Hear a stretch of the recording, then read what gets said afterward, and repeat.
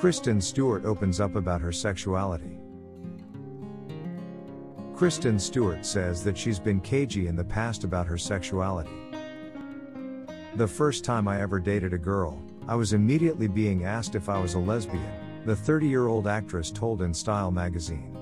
And it's like, God, I'm 21 years old. She told the publication that the media attention she got early in her career, when she was seen out some of Hollywood's hottest men, may have hurt people I've been with. Not because I felt ashamed of being openly gay, but because I didn't like giving myself to the public. In a way, she continued. It felt like such thievery.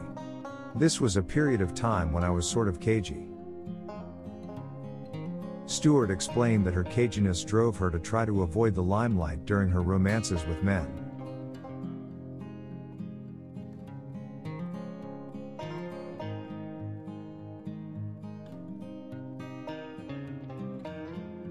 We did everything we could to not be photographed doing things, things that would become not ours. So I think the added pressure of representing a group of people, of representing queerness, wasn't something I understood. Stewart, 30, became an overnight sensation starring in the Twilight franchise and embarked on a high profile romance with co star Robert Pattinson.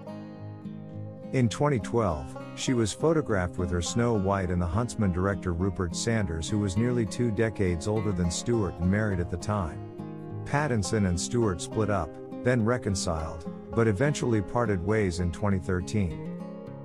She then went on to date visual effects producer Alicia Cargile and model Stella Maxwell. The Charlie's Angels actress is currently in a relationship with screenwriter Dylan Meyer. Last year, Stewart told Howard Stern that she is in love and can't. Can't F King wait to get married to her girlfriend.